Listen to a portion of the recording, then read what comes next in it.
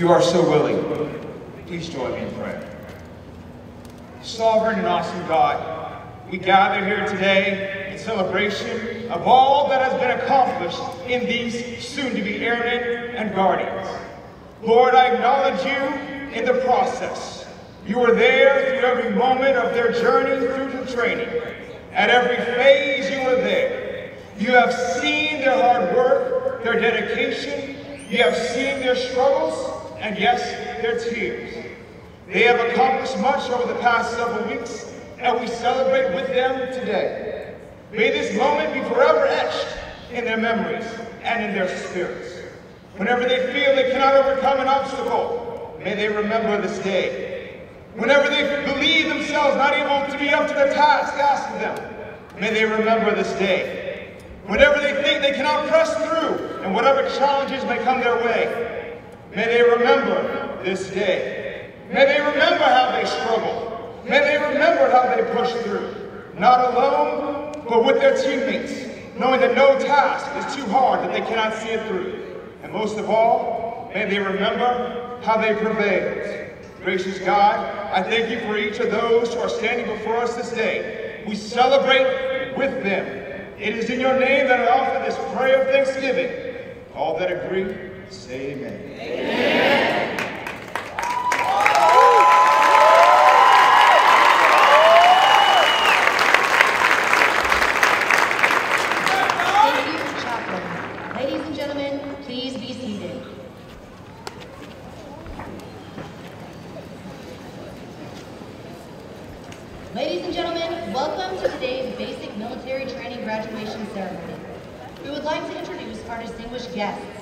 beginning with the host for today's ceremony. The Commander, Air Force Basic Military Training and 1990 graduate of Basic Military Training, Colonel Jeff Pixley, accompanied by his wife, Andrea.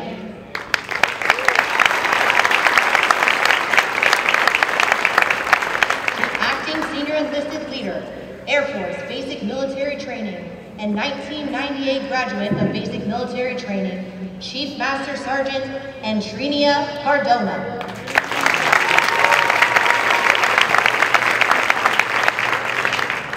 From the graduating squadron, the commander, 326 Training Squadron, Lieutenant Colonel Nicholas Smith.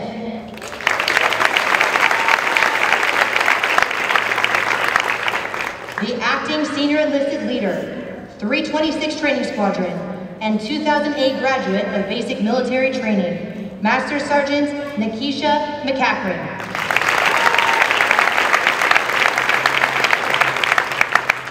The Commander, 1 Delta Operations Squadron, Detachment 1, Major Clinton Emery.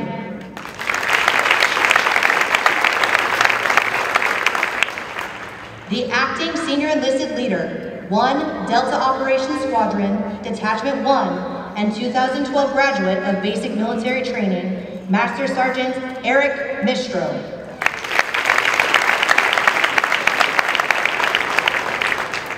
Also in attendance with us today, the Commander, 37th Training Wing, Colonel Lauren Courchaine.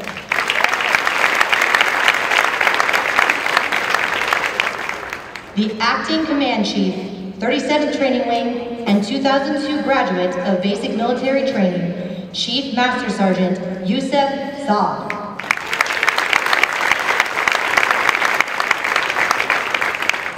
The Commander, Space Delta 1, Colonel Jason Schramm.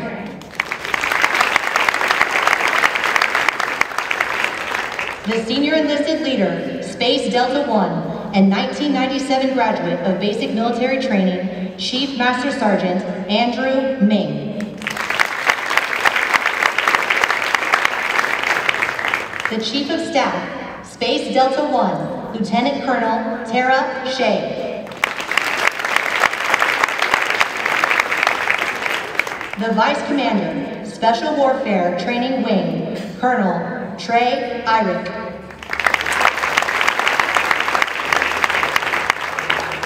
the Commandant, Gaylor Non-Commissioned Officer Academy, and 1997 graduate of basic military training, Chief Master Sergeant Jason Ramon. Although time does not permit us to introduce all of our distinguished guests, the 737th Training Group is proud to welcome each of you we hope you enjoy today's ceremony.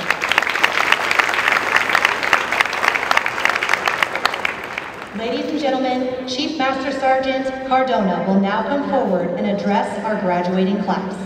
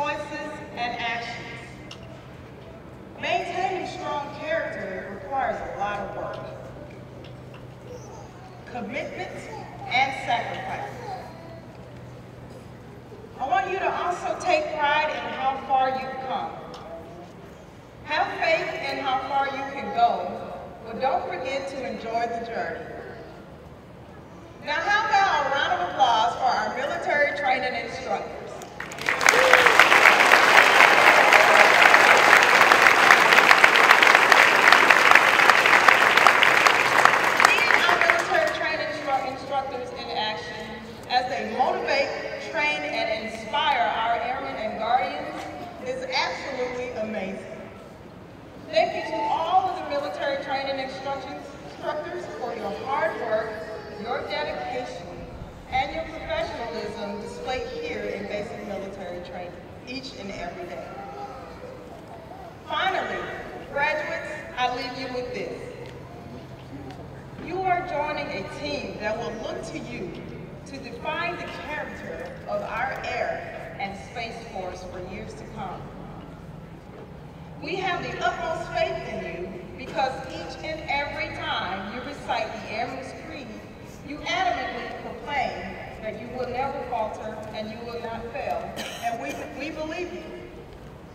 As your senior enlisted leader, I hereby acknowledge completion of all graduation requirements and recommend to Colonel Pixley and Chief Master Sergeant Anderson that you receive your coveted Airmen's and Guardian's coin, which signifies your transition to, from today from trainees to Airmen and Guardians. Congratulations.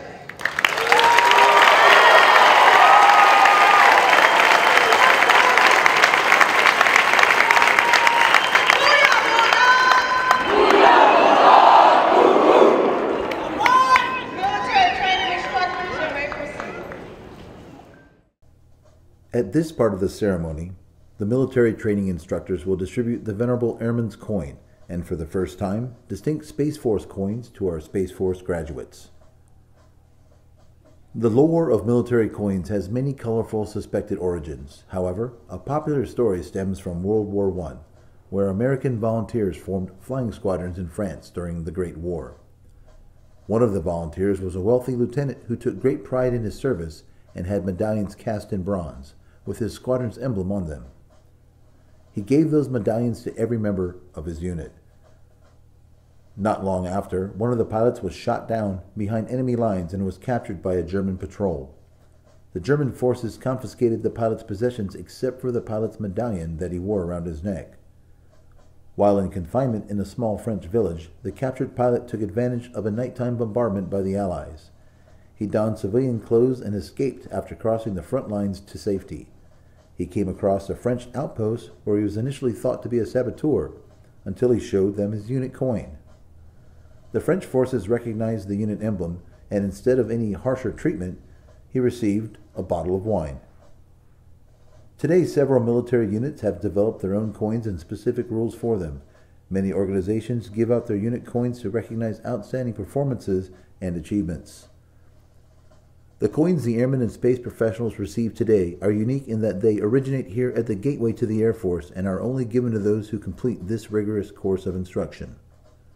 On one side of the airman's coin, the original emblem of the Air Force resides as envisioned by General Henry Hap Arnold, one of the first military aviators and later commander of the Army Air Forces in World War II. Beneath the emblem, the year 1947, the birth date of the United States Air Force, and around the rim of the coin, the core values of the Air Force integrity first, service before self, and excellence in all we do. Inscribed on the other side of the coin is the newly recognized emblem of the Air Force, a symbol that honors the heritage of our past and represents the promise of our future. The emblem retains the core elements of the Henry Hap Arnold emblem, the Arnold wings, and the star within a circle. The modern effect of the emblem reflects our Air and Space Force today and into the future. Inscribed in a half circle above the contemporary Air Force emblem is the Air Force motto Aim high, fly, fight, win.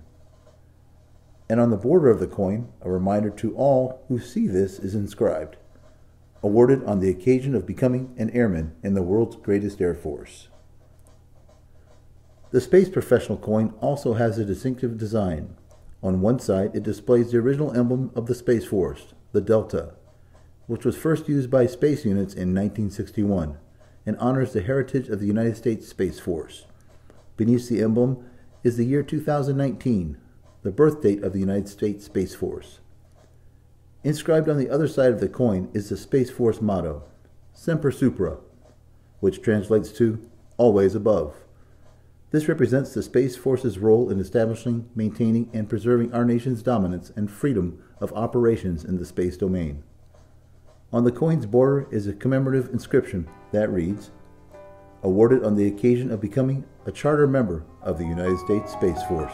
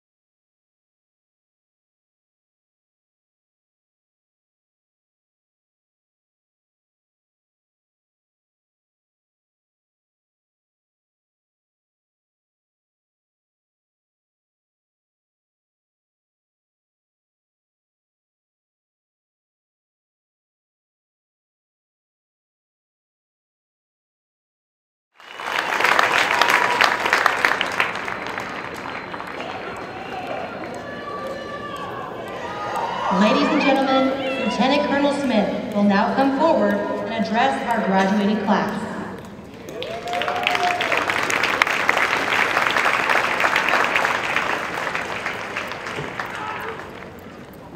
We are Bulldogs! Good morning, family, friends of the 37th Training Wing, and welcome to the home of basic military training for both airmen and Space Force Guardians. Thank you for your love and the support you provided to these airmen and guardians in defense of our wonderful country, the United States of America. More importantly, thank you for your trust, and it is my great honor to present to you the 657 airmen and 71 guardians of the 326 Training Squads.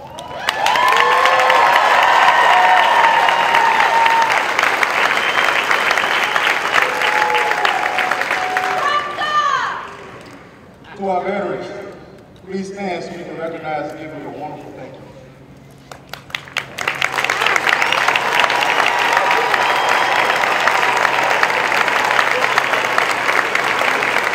All the sacrifices that you made, you paved the way for us in the defense of freedom, and we wish to continue this wonderful tradition of appreciation. So, thank you so much for all.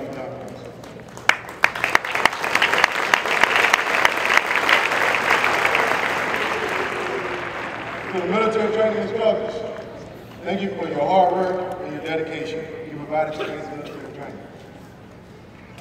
We do operate without you. And the sacrifices that you continue to make every day will never be forgotten. As your commander, I'm extremely honored to lead and work with such a wonderful group of individuals. I must say, well done.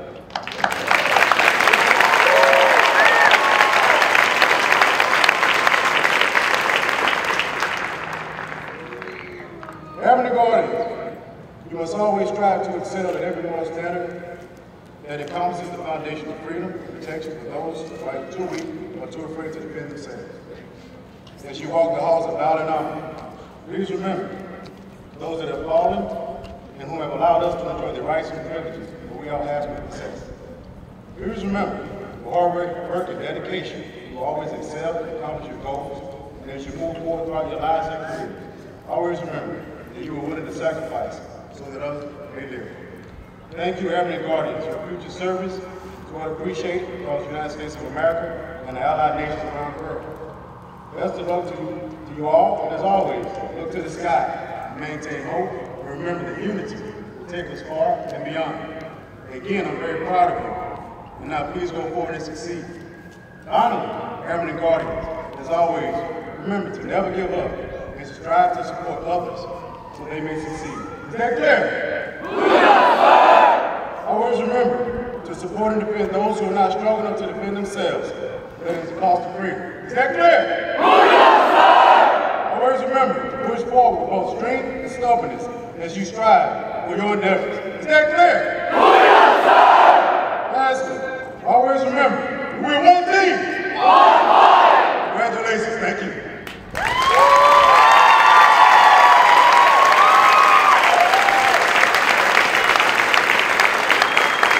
Thank you, Lieutenant Colonel Smith.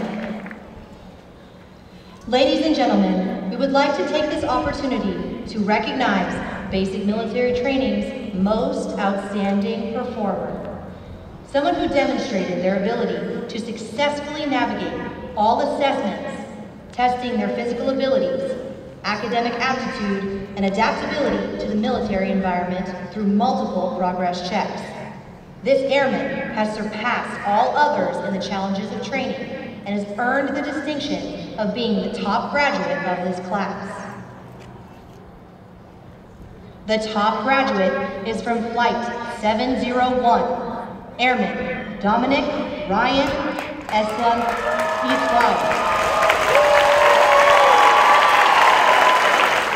His recruiter is Master Sergeant Richards from Pomona, California.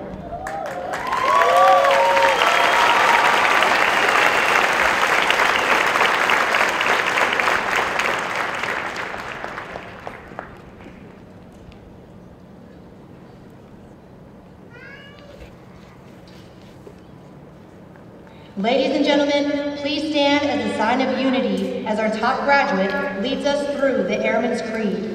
Instructors, place your flights at attention. I,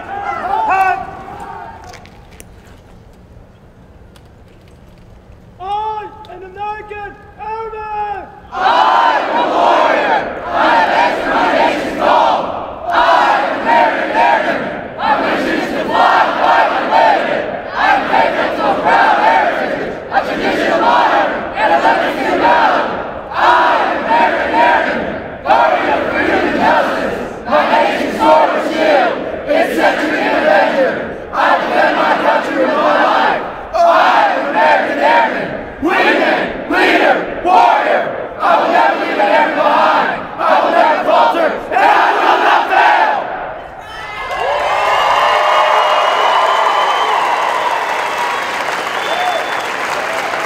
Ladies and gentlemen, please be seated. Instructors, place your flights at ease. This morning, we honor our heritage of military customs and traditions as we welcome our newest airmen and guardians into the ranks of the Department of the Air Force. There are two purposes for this morning's retreat ceremony. The retreat ceremony is a solemn event conducted at every United States military installation around the globe. It signifies the end of the official duty day, and today, it is symbolic of the end of training for our graduates. But more importantly, it is to pay respect to our nation's flag. When we offer our respect for our flag and to our national anthem, we have an opportunity to reflect thoughtfully on the democratic principles that have made our nation great. The meaning of freedom, dignity of the individual, the pursuit of happiness, and national unity all come to mind when you think of our flag. It is a symbol of our nation to the world.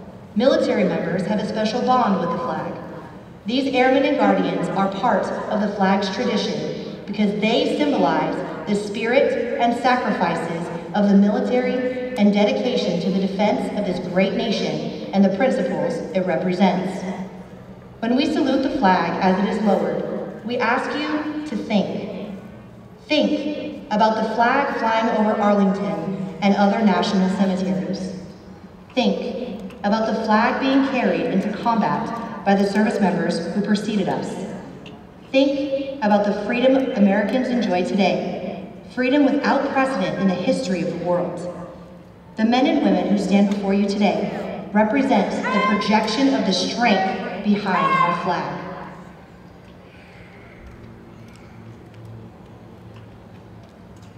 Our flag security detail consists of members from the graduating squadron, led by Technical Sergeant Michelle Holt. Our Commander of Airmen is Technical Sergeant Kyle Young.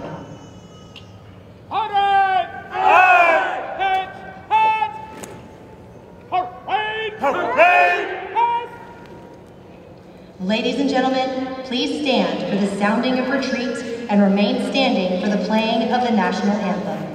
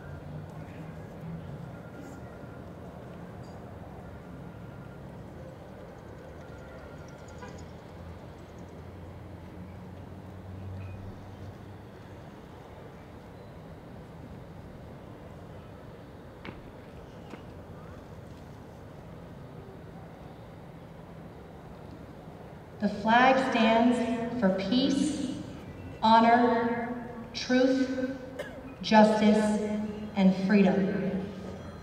In the armed forces of the United States, during the ceremony of retreat, the flag is lowered, folded in a triangle fold, and kept under watch throughout the night as a tribute to our nation's honored dead.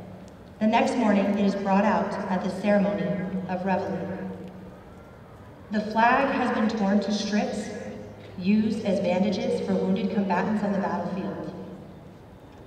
It has been placed in the trembling arms of a grieving parent at the grave of their fallen son or daughter.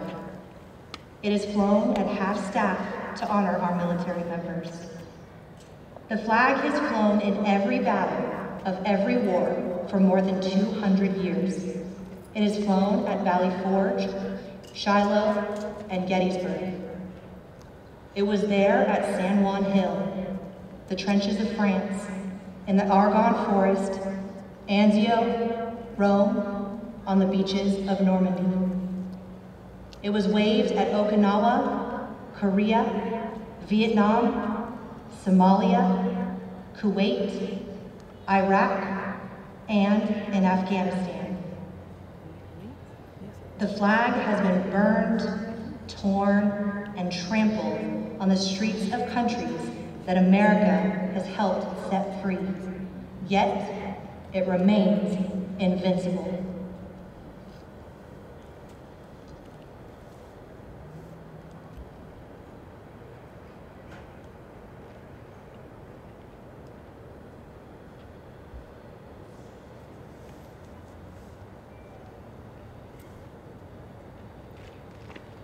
Come! Sir, the flag is secure. Retire the colors. Left wheel, head! Left wheel, head!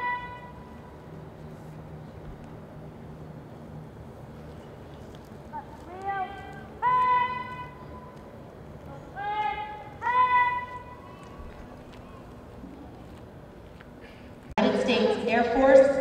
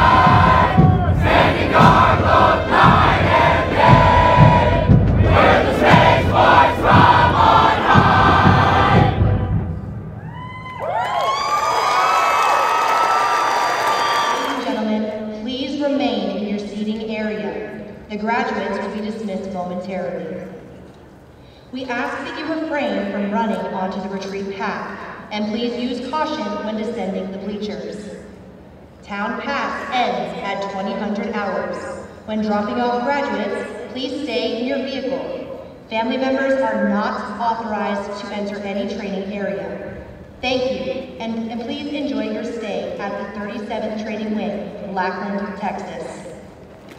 Dismiss!